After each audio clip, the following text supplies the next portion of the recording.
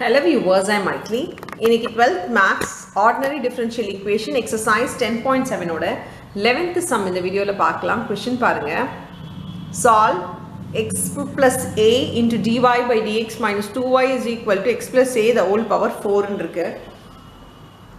இது எந்த ஃபார்மேட்டில் இருக்குன்னு பார்த்தீங்கன்னா dy by dx plus py is equal to கியூன்ற ஃபார்மேட்டில் இருக்குது ஏன்னா ஒய்யோட கோஎஃபிஷியன் தனியாக இருக்குது ஈக்குவல் டு சம்திங் இருக்குது ஆனால் டிஒய் பை டிஎக்ஸ் பக்கத்தில் மல்டிப்ளையில் இருக்கிறதுனால எக்ஸ் ப்ளஸ் ஏவை நம்ம எல்லாத்துலேயும் டிவைட் பண்ணிடலாம். ஸோ ஏன்னா அதுக்கு முன்னாடி கோஎஃபிஷியன்ட் இருக்கக்கூடாது.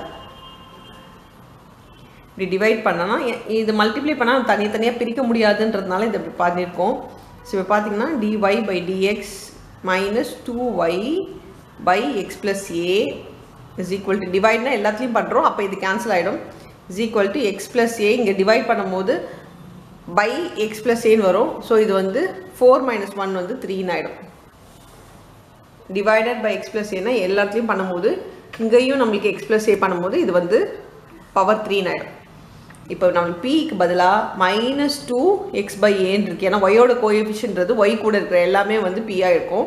இது வந்து நம்மளோட Q so P is equal to minus two by X plus A Q equal to X plus A the whole power three இப்போ இந்த ஃபார்மேட்டில் இருந்தால் இன்டெகிரேட்டிங் ஃபேக்டர் கண்டுபிடிக்கணும். இன்டெகிரேட்டிங் ஃபேக்டரோட ஃபார்முலா பார்த்தீங்கன்னா e power integration P dx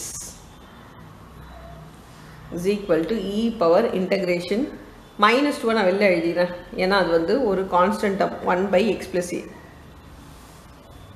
dx இது X plus ஏன்னு வந்துட்டு பையில் வந்து எக்ஸுன்னு வந்துட்டாலே பவர் ஒன்னுன்னு வந்துட்டாலே இது நம்ம வந்து லாக்னு போட்டு எழுதிக்கலாம். ஸோ இது வந்து e power minus two log x plus ஏன்னு வரும்.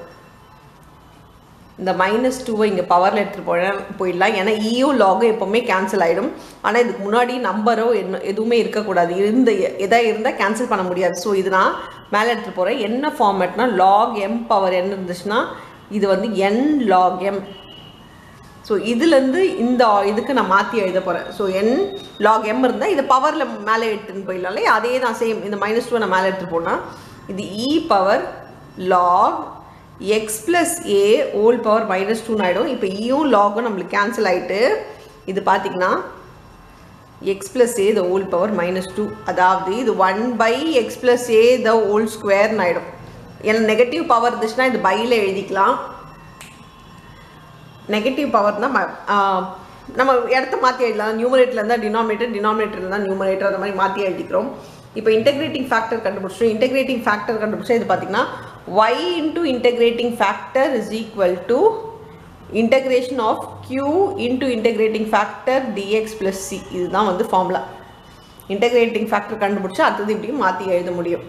அப்போ Y into integrating ஃபேக்டர்ன்றது by x plus a the whole square is equal to integration q.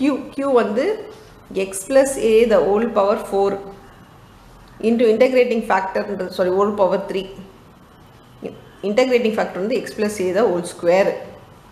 Divideல வருது. dx plus c. இப்போ ஸ்கொயரும் இதுவும் த்ரீயும் கேன்சல் ஆகிடும் ஏன்னா பேஸ் சேமாக தான் பவரை சப்ராக்ட் பண்ணுவோம். அப்படி சப்ராக்ட் பண்ணால் த்ரீ மைனஸ் டூ வந்து ஒன் ஆகிடும் ஒன்னுக்கு பதிலாக நான் இதையும் இதையும் டோட்டலாக கேன்சல் பண்ணிக்கிறேன். இப்போ எக்ஸ் ப்ளஸ் ஏ மட்டும்தான் இருக்குது இப்போ பாருங்கள் y by x plus a the whole square இது இன்டெக்ரேஷன் பண்ணுறதா இருந்தால் வெறும் எக்ஸ் எக்ஸ் இருந்தால் பவரில் ஒன்று இன்க்ரீஸ் ஆகும் அதே பவர் கீழே வரும். So x square by two plus constant டேர்முக்கு பார்த்தீங்கன்னா லாக் எக்ஸ்னு வரும். ஸோ சாரி எக்ஸ்ன்னு வரும். ஸோ ஏக்கு வந்து ஏ இன்ட்டு எக்ஸ்னு ஆகிடும்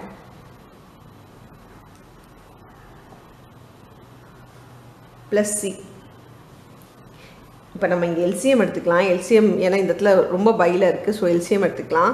Y by x plus a the whole square equal to இது எல்சிஎம் எடுத்தோம்னா எக்ஸ் ஸ்கொயர் எனக்கு ஒரு ஈக்குவேஷன் போது um, இந்த சைடும் பை இந்த சைடும் பையும் இருக்குன்னா ஒரு ஈக்குவேஷனாக ஃபார்மேட்டில் எழுதணுன்றதுக்காக two a x plus two C by two இருக்கும்.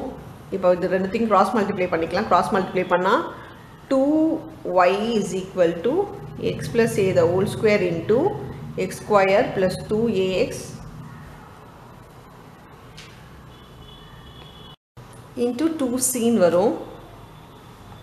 இப்போ பாருங்கள் இதுதான் ஈக்குவேஷன் பட் நிறைய இடத்துல புக் பேக்கில் ஆன்சர் இது x plus a integration of வெறும் எக்ஸ் ப்ளஸ் ஏ தான் இருக்குது டு த பவர் ஒன்று அப்படின்னா இது வெறும் எக்ஸ் ப்ளஸ் ஏன்ற மீனிங் தான் இருக்குது இது டிஎக்ஸோட இருக்கும்போது இன்டகிரேஷனை பொறுத்த வரைக்கும் நம்ம தனித்தனியாக ரெண்டுத்துக்குமே பண்ணலாம்.